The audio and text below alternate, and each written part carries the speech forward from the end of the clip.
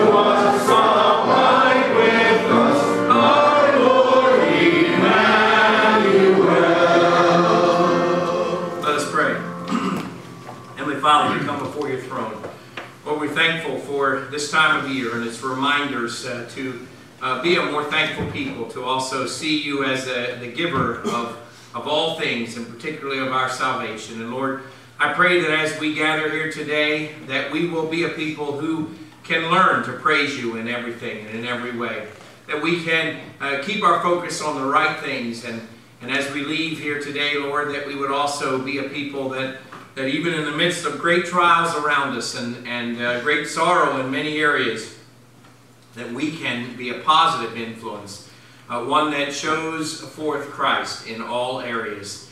And Lord, we just love you and praise you. We ask that you meet with us here today. In Jesus' name, amen. Thank you. You may be seated.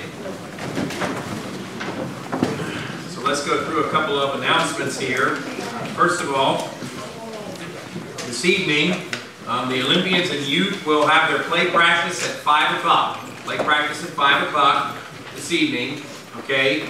Choir, you'll have your final practice for uh, Dutch tradition from 6 to 6.30. Okay? Dutch tradition from 6 to 6.30. And then that'll be downstairs in the fellowship hall. And adult Bible study will be from 6.30 to 7.30 downstairs in the fellowship hall. Okay? The children will be here um, for their uh, practice. Uh, they'll go upstairs for uh, Bible time and snack, and they'll come back down here um, for practice again. Uh, but the choir is still going to stay downstairs for all that uh, because what we're doing doesn't require having to worry about where you move on stage and that kind of thing. And so we're, we're just going to uh, do it right here, downstairs.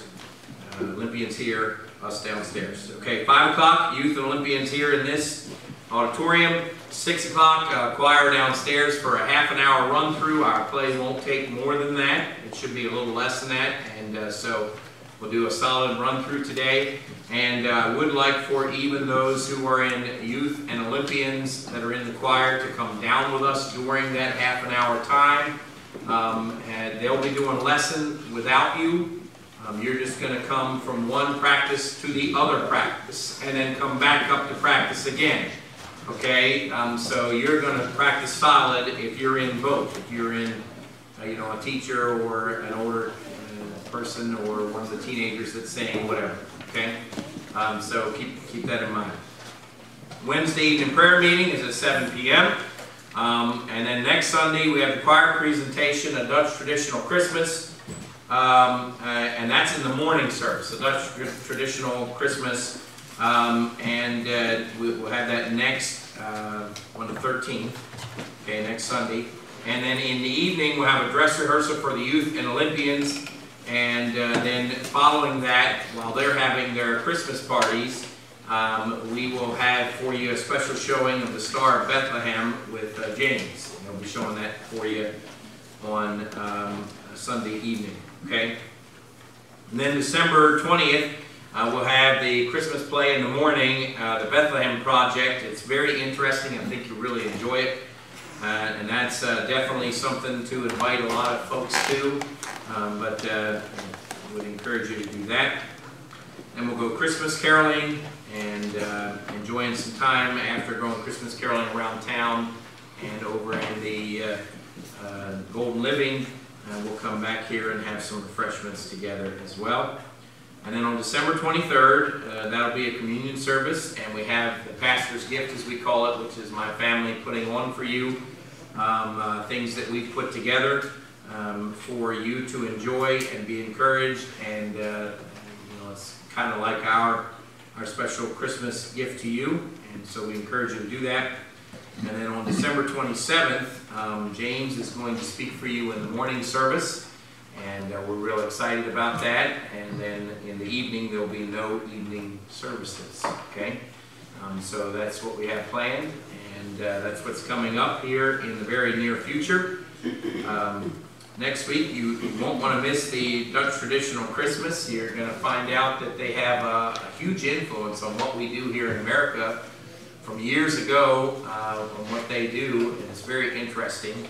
Um, and so come and do that, and I think we'll also continue along with that our, our series of messages. Um, this week we're going to look at personal praise, uh, reasons for personal praise. And next week we'll look at reasons for corporate praise.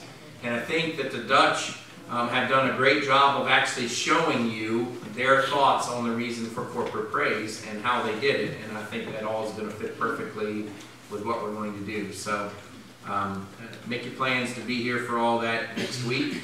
Okay? Uh, have I forgotten any of those type of announcements? John? Andrew, I mentioned last week we'd be working on the set, and I was gonna try to start on that today, but there's too much going on today with, we have a Christmas party for Robert's family and everything. I will be working on it, uh, this week. Um, planning on starting on it tomorrow evening around six. And then Tuesday as well, I believe, and we'll see how far along we get. And then, uh, this coming Saturday, um, to finish it up, I think is how it's gonna go. So, anyway, just wanted to say if anybody wanted to come help, you know, just get in touch with me and, uh, in. Okay, if anybody wants to help John put together the set, um, you know, the wood, wood, I don't know what you call them, crates, whatever we do to put them together, make them stack up and make it into Bethlehem and whatever. If you'd like to help John with that, please let him know. And uh, he'll tell you what times to come and what we're going to do, all right? Okay. So I, I think we have another announcement that we have to take care of that nobody wants to hear. We don't want to hear any of it. Um, Don, would you please go ahead? Um, We've been working for some time. Uh, Somewhere around the middle of January, we'll be departing this area. We've purchased a home down in uh, central Virginia. Um, Have some labors to do on it to make it ready for us to live in. Uh, But after almost 15 years,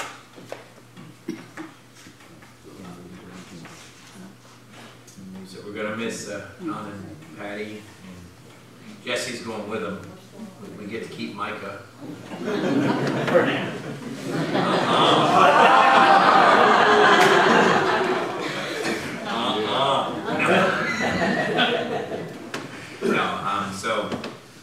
appreciate all the years of service. They've been on their board, uh, soon, uh, on the board here soon after, um, uh, you know, doing their time after uh, joining the church. Uh, it was not very long after that. They've been deacon and deaconess with us for all these years and have done a, a great job of ministering and taking part in, uh, helping people to do things and caring about what the needs are and, uh, um, so, we'll obviously have to take care of some of that. Just, just an FYI, this is preparation for retirement coming in the not too distant future.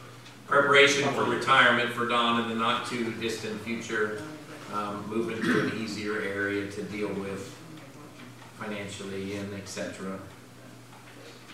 Um, so, uh, let's, let's remember to pray for him. Yes, Say, I retired to build a farm, you gonna retire to build a boat. I'm a retired user, but all right, uh, that reminds me, uh, thank you, Johnny, um, we, we have out here, make sure the kids don't touch it, you know, but we have out here, uh, a display of a farm. Um, this was handcrafted, uh, by, by Johnny, um, uh, and, uh, uh, so I suggest you go out and spend some time, just really look it over. I mean, there's a lot of intricate detail. Um, we've been debating on how to, to uh, publicize his, his, uh, thing that he's done here. I mean, this is just amazing, and it's quite beautiful, and, uh, um, you know, we should be proud of, of him as a church. He showed the same detail that he put into little models, into big models with everything he's expanded and built around here. And, uh, so, um, what a blessing, what a blessing. Make sure you look that over and really enjoy it, and take a few minutes today, don't rush off. I don't have any idea how long he'll leave it out there, but, uh, um, by the way, that also means that at times, when I have to go somewhere like Wednesday evening and I'm doing music, um, I don't leave it unlocked like I normally do. I, I unlock it, turn the heat on, go do the music lessons and come back and most of you are already in here. I'm not leaving it unlocked because I don't want any of the area children to see that cool toy in there and to let themselves in because it's open and uh, to go play with it, and then we come back and things are broken. So, um, just in case you're wondering, uh, you know, when someone gets here with a key, they'll open it up for you, but I'm, I'm not leaving it unlocked while that's in here, um, without me being around and knowing that I'm watching it and keeping an eye on things, so I don't want to ruin it ruined. Uh, But we do appreciate him doing that and also bringing it out and displaying it for us to, to look at. Um, I think it took- took uh, Hank some arm twisting to, to to get Johnny to, to bring it out here for us, uh, but uh, um, he definitely ramped it up and finished it, and I think it's beautiful for Christmas. It's not only beautiful, when I look at the detail, I actually remember working in those bank barns, and I actually feel my muscles sore from all the bags and everything. So I mean, I look at that detail and it- it makes me go back 30, 40 years. Yeah, so it's quite, quite beautiful, so make sure you look at that, and we appreciate Johnny sharing that with us as well.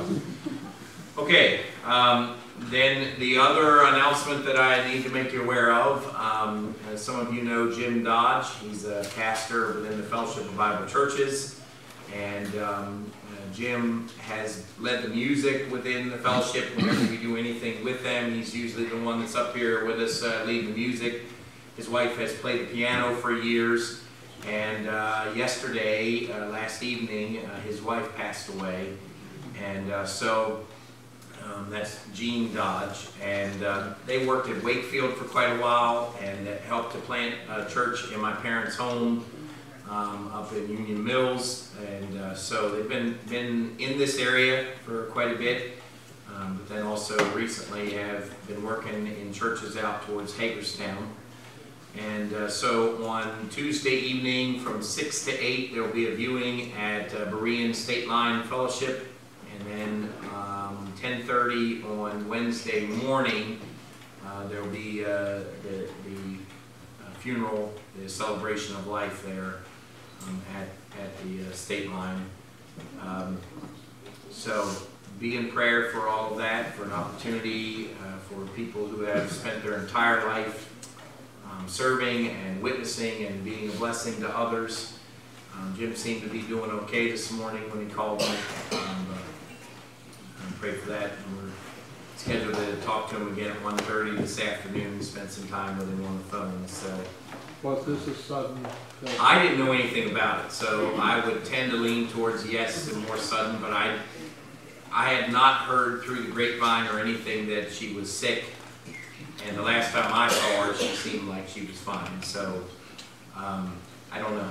But I don't know any of the details, um, other than when things are happening.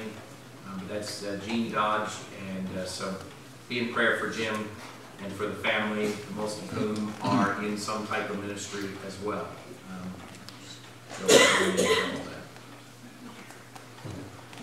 And I believe he's got some idea of what I'm supposed to do with, with him, and so pray about that too. I have no idea what that means. I need to talk to you more later because I need your help. Um, I have no idea what that means, so we'll see. So pray for us as well, and uh, we'll go from there. Okay? All right, um, let's, uh, have our gentlemen come forward at this time to take up our offering. So we'd encourage you, first of all, to remember to, to pray for the Dodge family. We also would uh, remind you to continue praying for Tim. Looks like he's doing a little, uh, better today, uh, feeling better now. He's got some different medicine.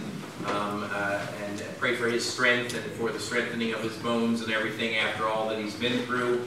Uh, and, uh, and pray for that. Uh, don't forget to pray for Miss Marlene, um, who also we have been praying for her, um, for her uh, sister-in-law uh, Betty Mann, um, who was very sick and on hospice, and she passed away this week as well. Um, so remember to keep them in your prayer. Um, and don't forget to pray for Mel and Ali, John Shippey's uh, family as well. Uh, keep in prayers also uh, Miss Joyce Ryan and a couple others like that uh, that have been dealing with uh, sickness. Told you last week that uh, Shirley Sherman um, had a heart attack Sunday two weeks ago, and she's doing better. But continue to pray for her as she heals also. Mike, would you um, stand and take us before the throne over the offering here? Let's pray. Heavenly Father, we thank you for allowing us to join together and praising you and Lord, just uh, pray now that you be with each one of these families as uh, of a loved one and illness, uh, recovery, and uh, so many situations there, Lord. I just pray that you be with each one of them, provide them the strength that they need, and Lord, pray that they uh, turn to you and ask for you, uh, ask for the strength from you, guidance and direction from you. Lord, we come now to sing your praises and Lord, give back a portion of what you have blessed us with back to you to spread your word. All these things we ask in Jesus' name. Amen. Amen.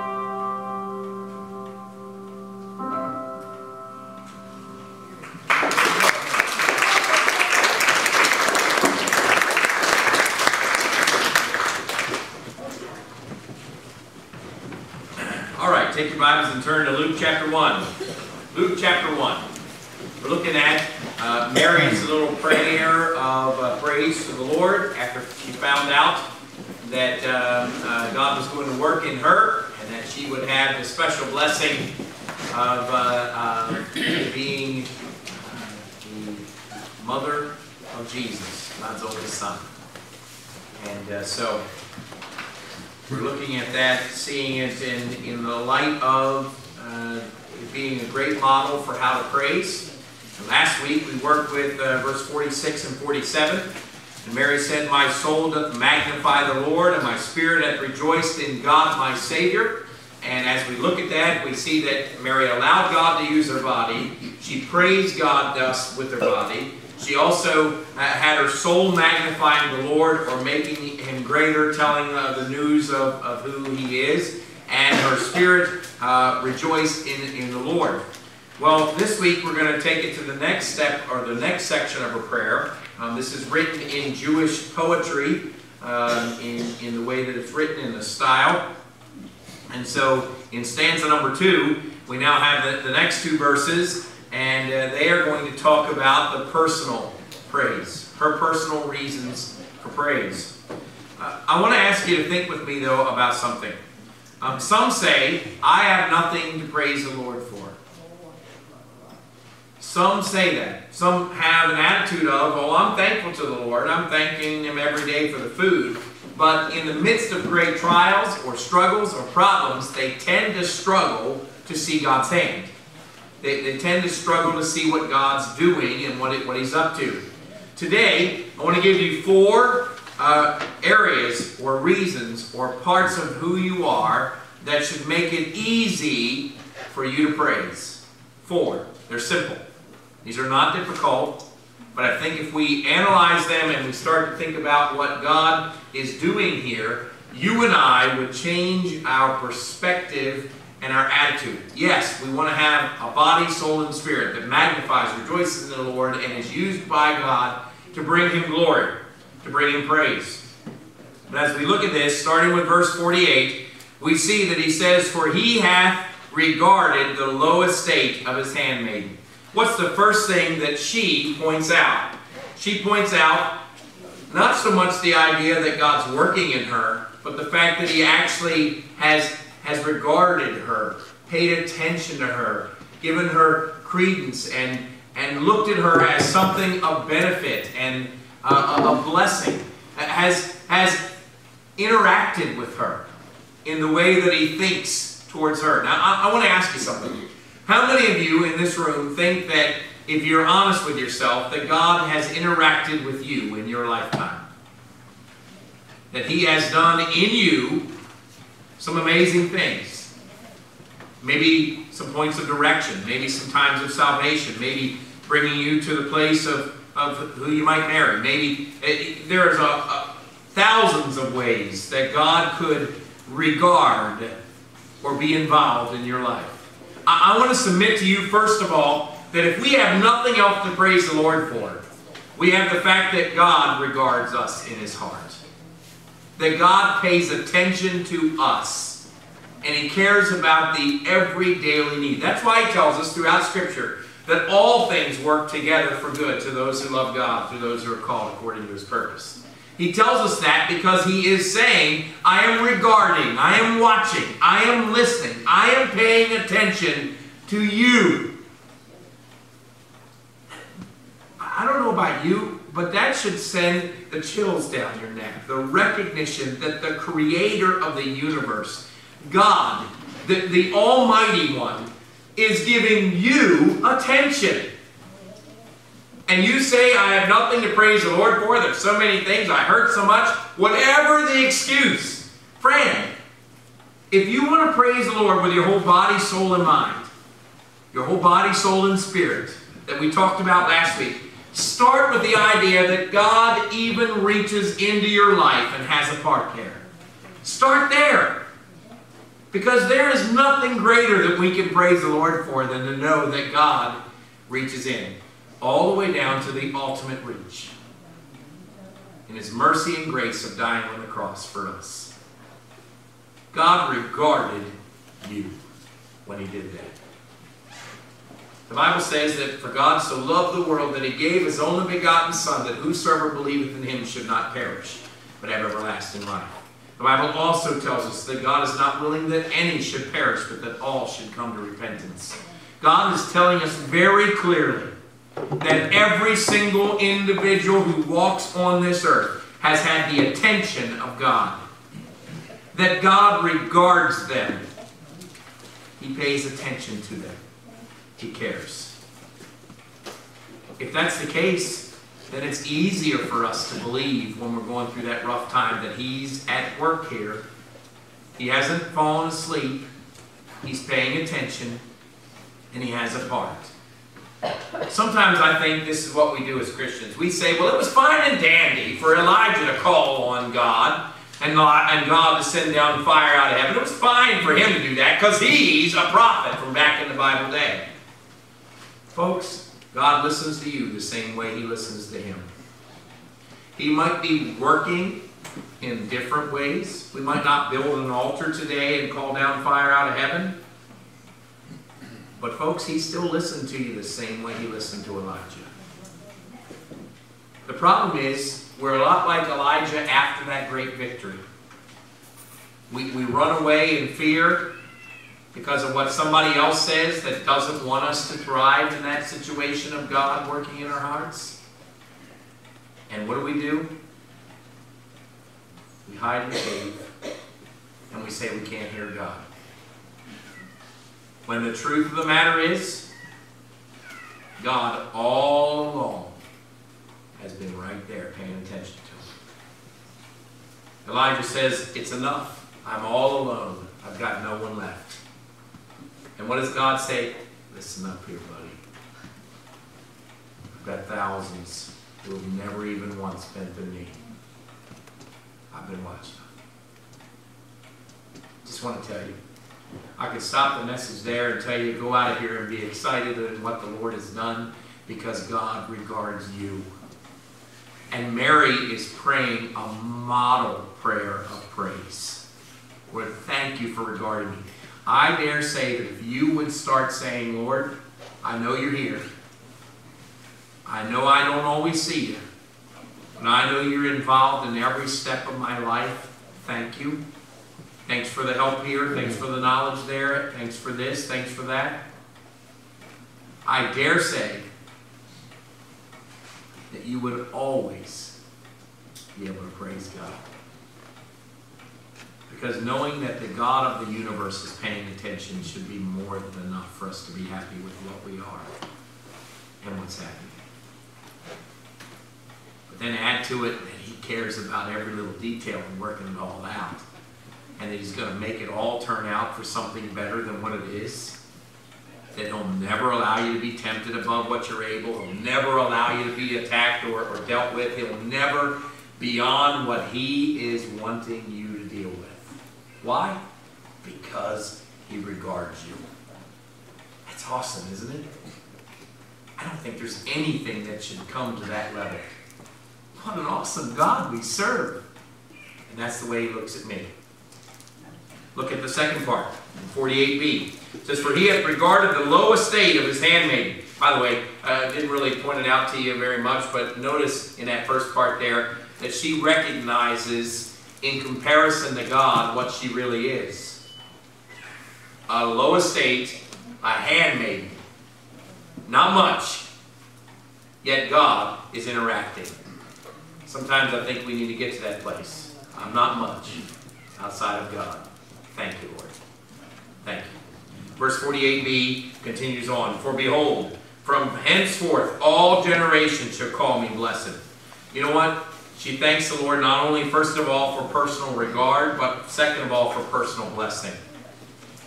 For personal blessing. Now, in this particular case, she has an ultimate amazing blessing in that, that as she says, uh, down through the ages, everyone calls her blessed.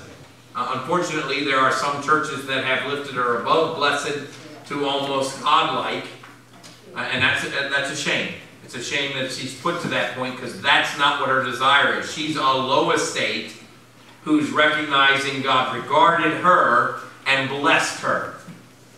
Listen, if you and I can get to the place to where we see God's blessing in our lives, God's touch in us, is regarding us and then providing to us as a result of that regarding the blessing, we would learn to praise the Lord in every single way. Okay, so, um, I, I'm, I'm going to tease and embarrass someone for a moment. They knew this was coming. Um, so I'm, I'm gonna say this, okay? Yesterday, um, a person will be un, unnamed. Um, they, they were late. They were late coming back to the van. Okay? So they were late coming back to the van, and it wasn't their first time of being late coming back to the van for this particular activity. But as we're riding home, and we're on the Beltway, and an ambulance goes past us, and we don't know where the ambulance is going. But as we're riding home, that ambulance goes past us, and then we get into a major traffic jam, and then we're sitting uh, extra minutes in the traffic jam trying to come home. The first thought that goes through your mind is, I wonder if we would have been right next to that vehicle when it caught on fire, or right behind it, if we hadn't been late.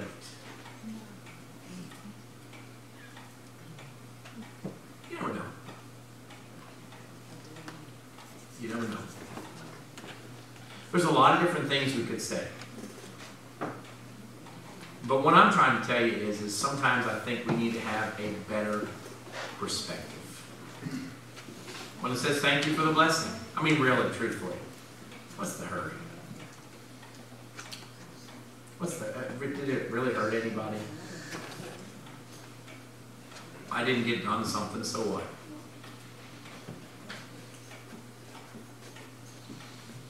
Sometimes I think that we are so stuck on the wrong thing that we can't see blessing.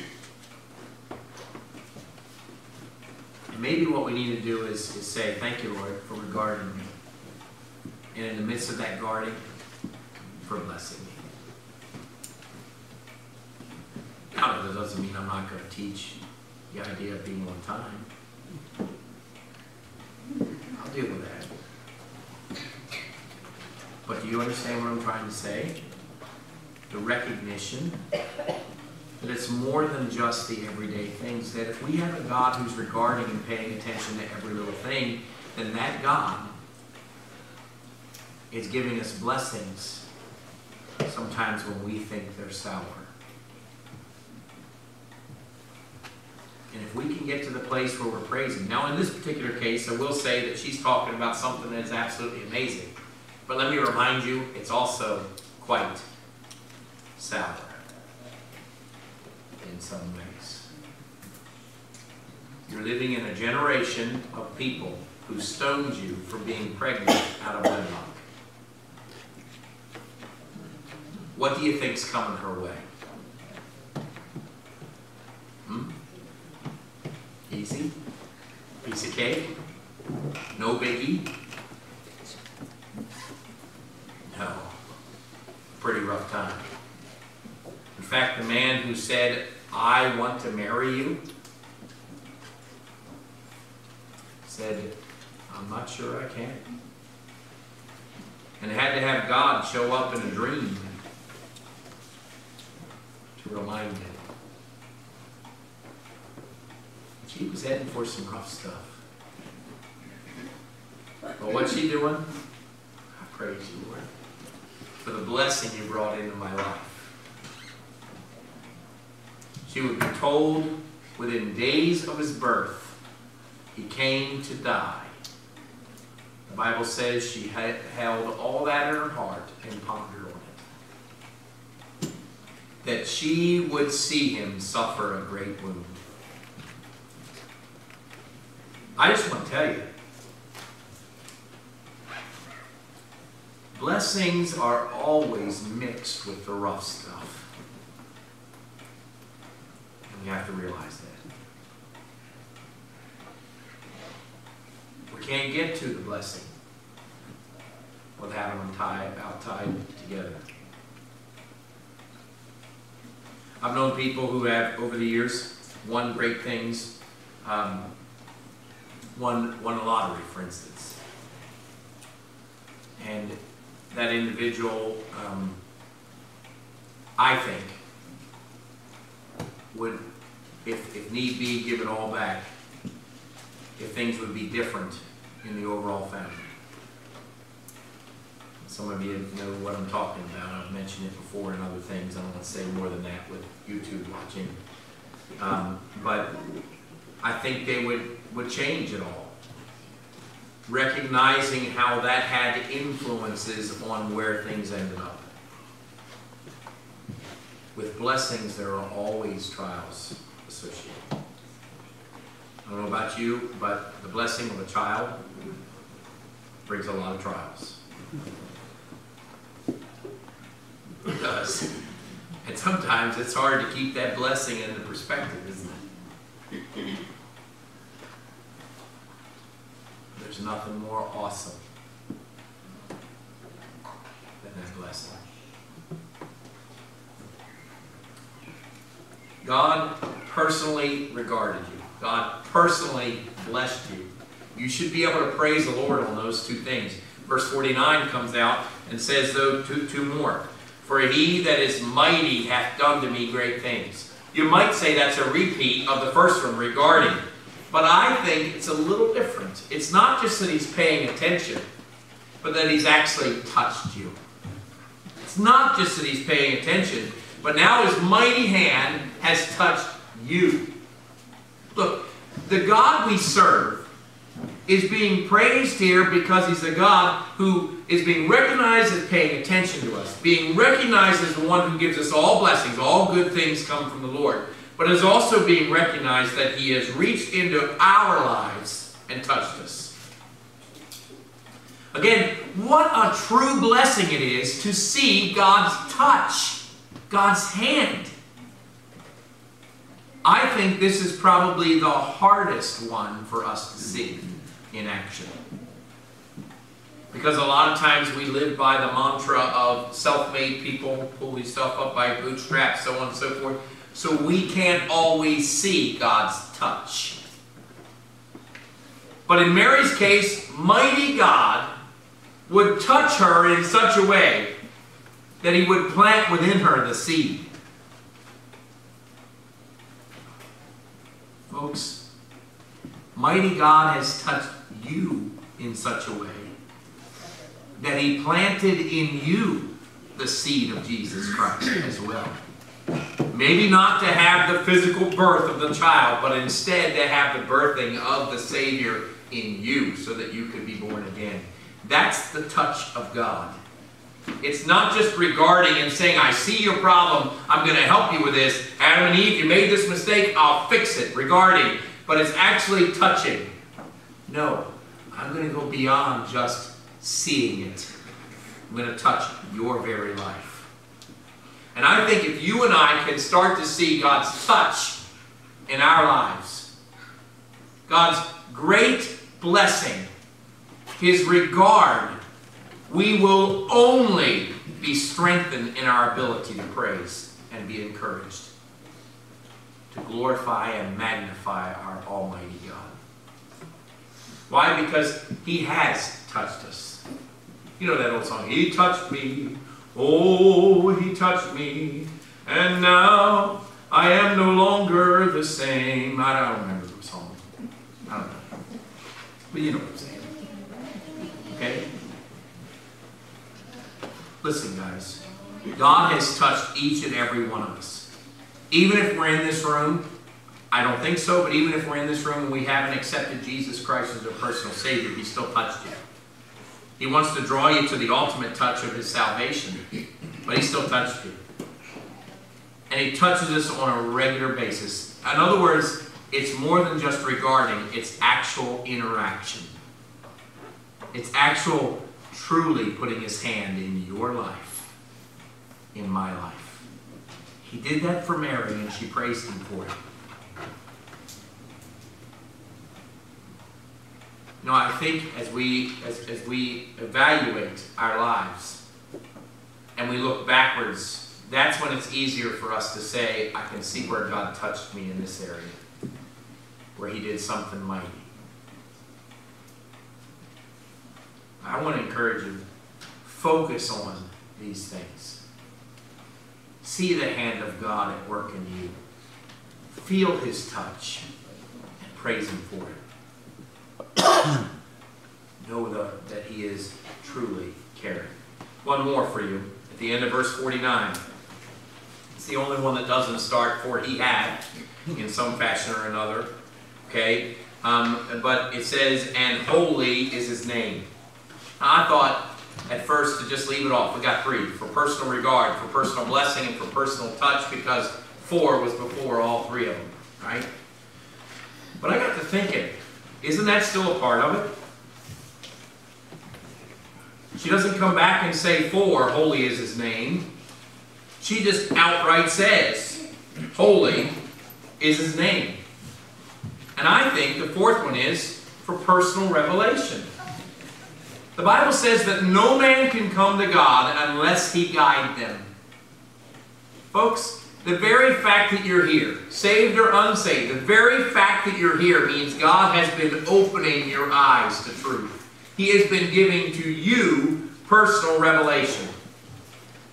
Sometimes we could do a better job of studying the Word of God. Sometimes we could do a better job of praying over the Word of God. Sometimes we could do a better job of allowing His revelation to touch us, to show us His regard, and to give us blessings. Sometimes we could do a lot better job of that. But the honest truth is, He has opened our eyes to truth and provided us revelation. And so just like Mary, who's in the midst of this prayer of praise, can come out of the end of, I am truly blessed because God has regarded me, He has blessed me, and He has touched me. And she can also say, Holy is His name. In other words, He's given me understanding of who He is. He's given me understanding of who He is. I'm going to tell you something. You're heading into the rough time that Mary's about to go through. And her thought is, God is holy in doing all of this. It says that she has a great understanding of who God is and what He's up to. She considers it a real blessing to go through the trial that's about to come. She considers it a joy because she sees the final picture. It's never easy going up the road, getting in a car, going somewhere, right? So I don't remember whether it was last year or the year before. We uh, headed out on Christmas Eve to head up to um, uh, New York, and it started snowing, and New York wasn't expecting snow, and the, the roads were solid ice.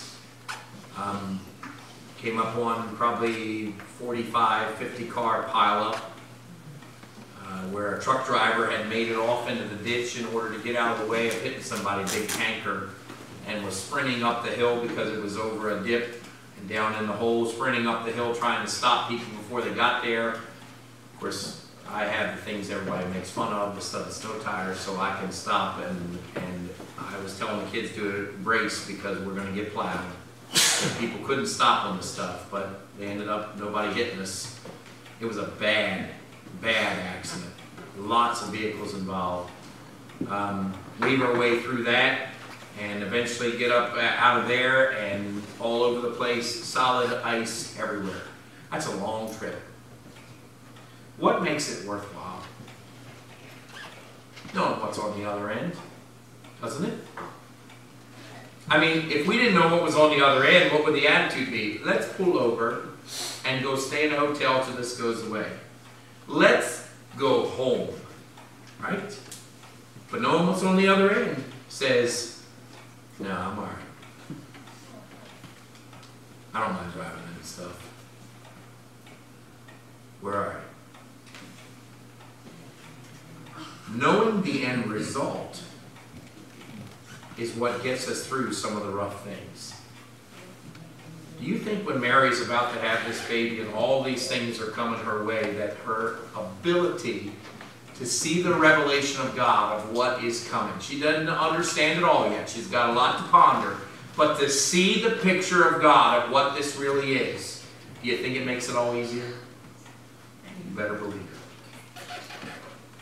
And so the end result, you're able to praise God because in having things revealed to you, you have greater faith of knowing what the future is. Mary didn't know yet that he was going to die. She just knew he was her Savior. She would be told pretty soon he was going to die. Like I said, just a few days away. Yet here she is after being told that you're going to have God touch you in this way and being touched and then going and visiting somebody else and she saying, Praise the Lord. Why? Because I've personally been regarded by God. So have you.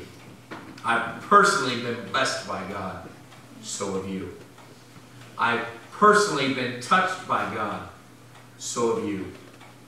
And I've personally had God guide me into understanding who He is and what He's really doing. Friend, I hope that that says to you, I have much to praise the Lord for. And so, in the midst of all these days when our world evermore is trying to remove pictures of Christ, I pray that we will be a greater picture of Christ, glorifying and magnifying His name. When newspapers try to tell us that God isn't, isn't a part of what's happening, you and I, with our faith and our difference maker, But God has touched me. God is regarding this situation. God has blessed me. And God has revealed these truths. We can make a difference for the kingdom of Christ. Even in these trying times. Every head bowed, every eye closed, no one looking around.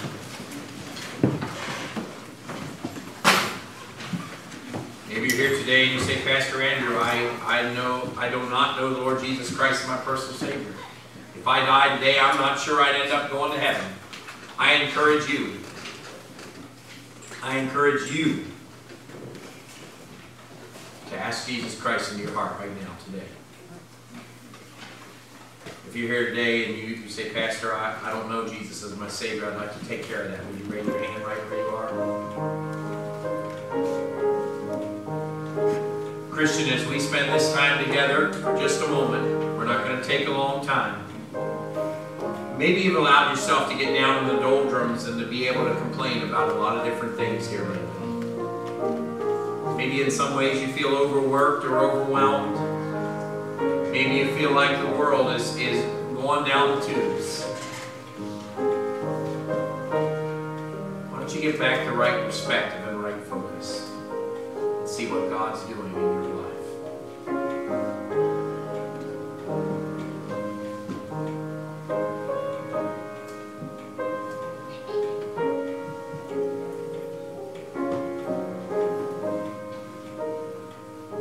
Heavenly Father, I come before your throne and I thank you, Lord, for the special time that we're having in the Word today. I pray, Lord, that you would touch each heart with our need to be uh, happier, more rejoicing, uh, rejoicing to overflowing exceedingly uh, with the idea of, of who you are and what you're doing in us. Lord, I pray that we would keep the proper perspective. And Lord, I thank you for your blessings, for your love, for your joy. Uh, Lord, I, I thank you that you care about us and are paying attention to everything. I thank you that all blessings come from you. I thank you that you've touched my life in so many ways, and you're touching these folks here today. Lord, I pray that you would help us as we understand and see your purpose and plan, that it makes the things that we go through and what's happening in our world seem so much easier because our yoke is easy and our burden is light when we finally get to the place of seeing what the end result is. In Jesus' name, amen. Let's sing together. 89. Lord speaking to you and you'd like to come, please do so. Stand together as we sing. All the way.